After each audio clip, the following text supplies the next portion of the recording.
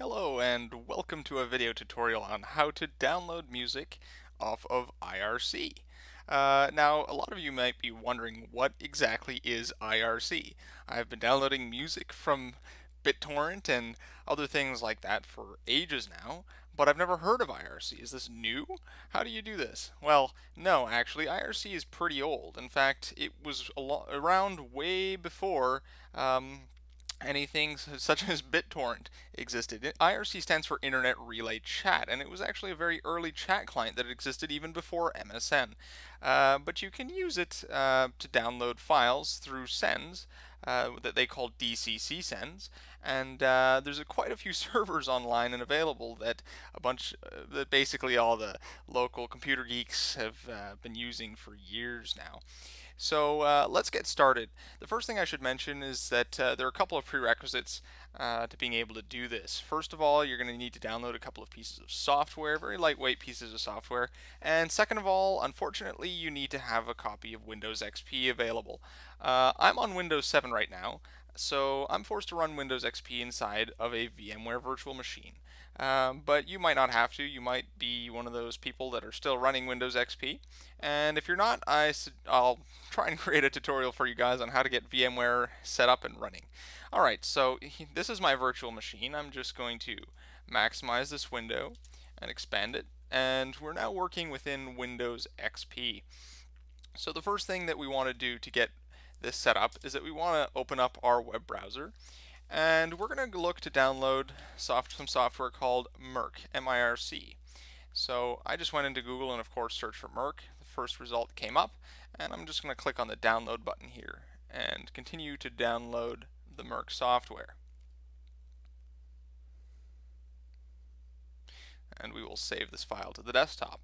The second piece of software that we're going to need very soon is called AutoGet, and that's where all the magic happens. So I'm going to search for AutoGet. Actually, I'll search for Omen Script, because in fact, Omen Scripts is the organization and the website which hosts AutoGet. And then I'm going to go to the Downloads folder on the left menu. Now, normally you'll need to sign up for an account with Omen Scripts, um, but I will also host the file for available for download on my website which you can check out. So I'm going to enter the AutoGet section and download the latest version, which is honestly quite old. And I will save this file to my desktop as well. And that's all the work that we need to do in the web browser. So we can clear this list and close up Internet, uh, Firefox. And we're going to go ahead and install Mirc. I'm going to agree to the prompt going to continue with the installation. The default directory is fine. You can put this anywhere that you want, but note that you should probably take note of this directory for future reference. And we can do the full installation, which is perfect. And we can leave this all default as well. And we just go ahead and click on the install button. Now I'm going to want to go ahead and leave this menu up here for the time being and I'm going to proceed to the AutoGet setup. So I'm going to double click on the zip file and I'm going to open up the executable. And in this case I don't have any uh, WinRAR or unzipping client installed like WinRAR, for, uh, WinRAR or WinZip for example. So I'm just going to use a default Windows um, software and I'm going to run the executable, uh, agree to the security prompt and it's just another quick next I agree type installation again. And we proceed through all the menus. Now, the reason that I mentioned that you might want to pay attention to the uh, directory before is because you'll probably want to put the AutoGet script inside of the C if the C program file slash Mirc or wherever you installed it. And I like to put it in slash AutoGet. Now, make note of this directory as well. So we're going to proceed, and that's pretty much all you need to do to install the AutoGet script. So we're going to click on Run Mirc here, and click on Finish. Now this is what you'll be presented with. Mirc is technically a uh, you technically need to pay to use it, but it won't stop you from using it. In fact, I think this one's been installed for over two years in this virtual machine. Um, and so I'm just going to click continue. This is not the first time I installed Yes, it's been running for 588 days and I uninstalled it for the purposes of this video tutorial.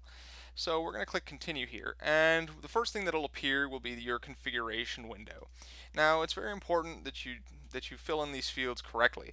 Now your full name can be absolutely anything. I'll call myself uh, something completely uncreative. How about anonymous? My email address will be anonymous at anon.com. And now your nickname, I found that it typically works better if your nickname is the same as your full name. So I'm going to proceed and put that in. And your alternative name, I like to use the full name and perhaps some string of characters at the end. The alternative name is only used if somebody else is on the chat uh, server at the same time as you. Now the next thing that we're going to want to do, or that I like to do, is to go to the sounds menu and I like to disable sounds which can be kind of annoying inside of mIRC. And the next thing is in the DCC menu. And for ease of use later, we'll set it to auto-get the file. It will prompt you saying that you may receive viruses as a result of doing this because auto-getting files will effectively automatically accept uh, file sends. But since we're going to be requesting the file sends, it's perfectly fine. And the next thing that we want to do is make sure that we go to the folders directory and we're going to change the directory that audio files are put into by default. This is really just a customization thing and it doesn't need to be done. But for the purposes of this demonstration, I'm going to have it put all the audio files that I download onto my desktop. Click OK and OK as well. Now this is also very important. Under the ignore field, you're going to want to set the method to accept only, which is what's there by default. And this is why it's pretty safe, because we're going to basically ignore every single type of file other than an MP3 file. And MP3 files can never be dangerous, and so we'll be totally fine and I'm going to go ahead and click on OK. Now this is the last bit of configuration that you need to do with mIRC before you can start using AutoGet. What you're going to want to do is go into this chat window here and put it into the um, field right here, click on it, and we're going to type the following, forward slash load dash rs. Now note that these quotes are very important and the directory that you kept in mind before, well that's exactly what we're going to type in here. So mine was C program files slash mIRC slash autoget. And now this will be effectively where you put autoget, and at the end of that directory you're going to put backslash autoget.mrc, and you're going to close the quotes. Press on enter, and it will come up with this script warning saying that a script is trying to initialize itself, and yes, absolutely we want, we want it to happen. We did this on purpose. And so now it tells you that AutoGet has been successfully loaded into mIRC, and this is the last time that you'll have to do it unless you just so happen to uninstall AutoGet. So now what we want to do is right click on the chat window, and this is the same procedure now anytime that you want to go ahead and open AutoGet. And you just fire up mIRC, and then you're going to load AutoGet in this way. So we're going to right click, select AutoGet v7.40b4, and we're going to click on Open. And now this window comes up. We can minimize mIRC. It goes into the um, taskbar down here and the, into the notification area. And now we'll be working exclusively within AutoGet for the most part. So what you want to do is go ahead and click on File and Connect. And what this is going to do now is that it's going to connect itself to various servers. There are actually 12 servers that it tries to connect to, which have been around for since the beginning of time. And those servers are servers which people graciously host um, in their spare time and there's music on there. So we're going to really want to get into that. Now it's going to often tell you this, that you seem to be having trouble connecting to a channel. Now that's totally fine, it sometimes takes a little while for this to happen, so we're going to want to uncheck always show this message and click OK. If you're sure that your internet is running, it should be fine. If you really do have problems connecting, you'll probably want to double click on mIRC, and we don't need this window for the time being. And yes, I'm sure I want to close the status window. Now, you see here, we've had a problem. It says anonymous nickname is already in use, and it might be the problem. So um, obviously anonymous is probably not a great nickname to have used, since it's obviously, I'm guessing, pretty common. So what I'm going to go ahead and do is I'm going to go change my nickname from anonymous to something a little bit more original, like Ali Baba. And I'll do the same thing here.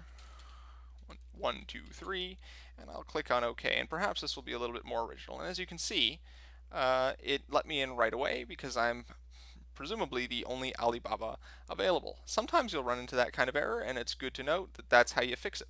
And basically it all comes down to going ahead and reading what they say. If there's something that they say you need to change, go ahead and change it.